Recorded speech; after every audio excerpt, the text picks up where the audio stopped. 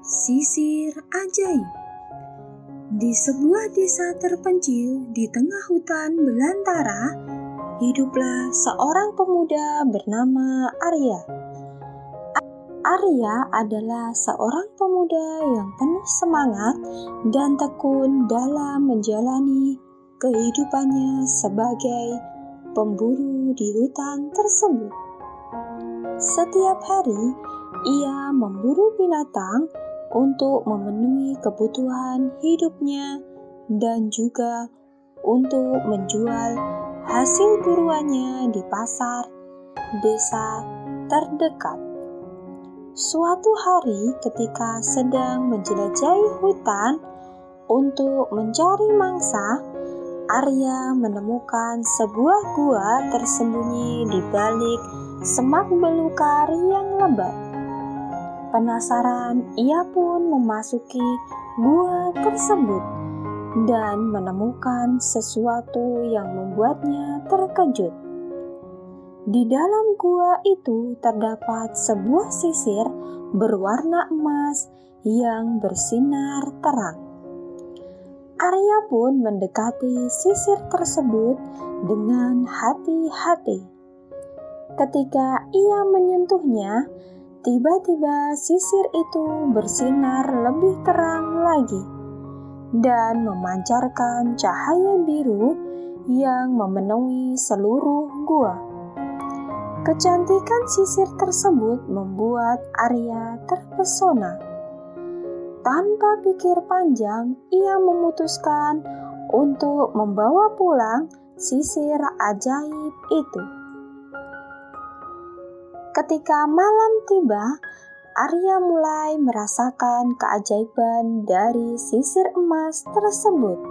Setiap kali ia menyisir rambutnya dengan sisir itu, rambutnya menjadi lebih kuat dan berkilau. Bahkan rambut yang tadinya kusam dan kusut kini berubah menjadi lembut dan bercahaya seperti sutra.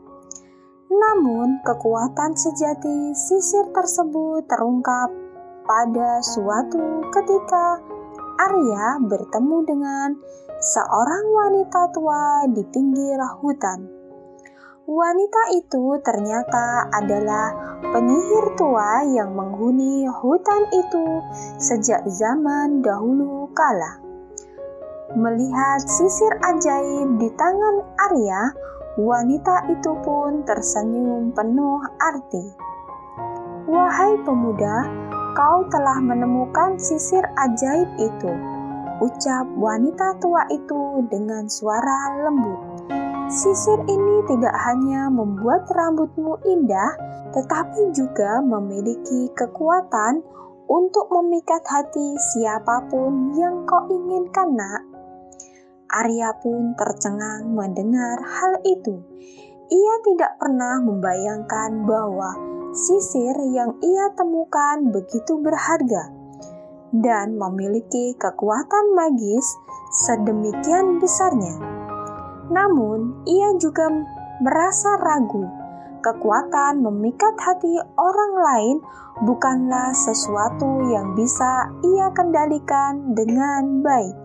Dalam pertimbangannya, Arya pun akhirnya memutuskan untuk mengembalikan sisir tersebut kepada wanita tua itu. Meskipun ia merasa kehilangan, ia menyadari bahwa kekuatan seperti itu harus digunakan dengan bijak dan juga penuh dengan tanggung jawab. Wanita tua itu pun menghargai kebijakan Arya dan mendoakan keberkahan pada hidupnya sebagai hadiah atas kebaikan hati Arya. Sejak itu, Arya kembali menjalani hidup seperti sedia kala, menjalani kehidupan sebagai pemburu dengan kebahagiaan yang tulus. Ia menyimpan kenangan akan sisir ajaib itu dalam hatinya sebagai pengalaman yang berharga. bahwa kebaikan dan kebijaksanaan selalu menjadi pilihan yang tepat dalam menghadapi keajaiban dunia ini. Selesai. Itulah kisah sisir ajaib. Terima kasih sudah menyimak. 拜拜。